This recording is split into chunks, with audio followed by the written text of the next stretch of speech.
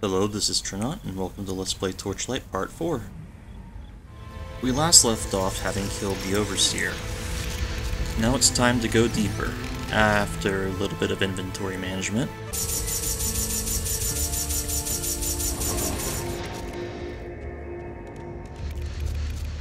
The beauty of these sunken gardens shines through an age of dust and decay. Why did they fall to ruin? Could the same corruption that affects me now be responsible for this centuries-old destruction? The thought that this blight could be so ancient unnerves me. But if it consumes me, I must go deep enough that I can never escape to do harm. And there is still hope. A fool's hope, but I cling to it. Welcome to the Estherian Ruins.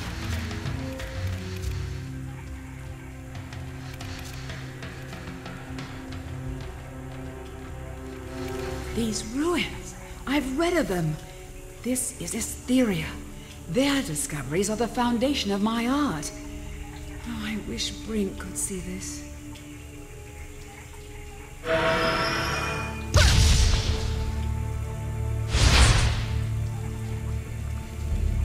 I have reactivated these three rune gates, but it is the fourth that leads deeper. Some threat must have caused the Estherians to disable it. The destination glyphs are missing. We'll need to find those missing glyphs to continue. Search the active gates while I study this chamber. Hurry, there are many obstacles between us and the Ember Forge below. You heard the lady. Or if you didn't, we have to find three MacGuffins to get to the next area to go down and save our butts from some random corruption thing. The Estherian ruins have an odd quality in that you actually get to choose the floor that you go on, rather than dealing with all three in sequence. We encounter some new enemy types here. First is the Tunnel Spider. The Tunnel Spider will shoot webs that slow you down. We again have the Pale Shamblers, but next to it is a Thorned Strider. Thorned Striders are heavy-hitting biggies, but they are very weak to elemental damage, and since I'm such an elemental damage wielder, they don't pose too much of a problem. One of the major enemies in the Estherian ruins are the Pygmies.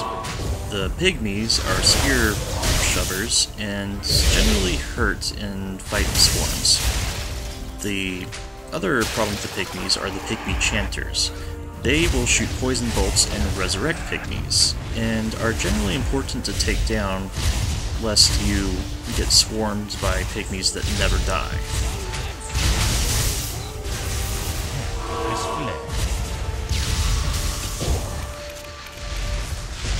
While I fight this big spider, I'll explain my strategy for this area. Basically, in the Estherian ruins, you'll want to make sure that the spiders that shoot webs don't get in your way too much, or else you'll be slowed down and caught up by enemies that really want to kill you. The tree people are not a problem because they suffer so much from elemental damage and have low armor, even though they have high health. The pygmies work like any other basic mook. You simply keep away from them, shoot them, and slow them down if necessary. Let the swarms of minions deal with them, so on. My Frost Missile is a great boon right now, simply because it can slow the enemies so well. It really goes to show how spells that you acquire as items in Torchlight are some of the better things you can use. Our quest has been completed. Let's not forget fishing. Another unique aspect of the Estherian ruins is that each floor ends with a special chamber that you're teleported to, essentially another mini floor. This small area tends to have a bunch of champion enemy creatures. It will also have the MacGuffin that we need to progress. Clear this small area of monsters and we head out back to the central hub. One down, two to go. Of course, I have to stop in town first to do various things, like turn in quest and, and manage inventory. fell off the back of the wagon. After town, it's time to go straight into the dungeon again. This time I'm on floor 12, ready to kill some monsters. The usual chaos ensues, where I wander around while my minions do all the damage. Fun times. But really, floor 12 and the next floor are very similar to the rest of the Estherian ruins. There's not much difference between the dungeon areas. I may have done some phase portals, I may have done some monster killing, but overall, just had some fun times. Fortune smiles on me. Unfortunately, my recording setup decided to lag out during this set, so this will only be half of a dungeon area rather than a full dungeon area video. Expect more shenanigans and fun times during the next part. Maybe some monster killing and inventory management.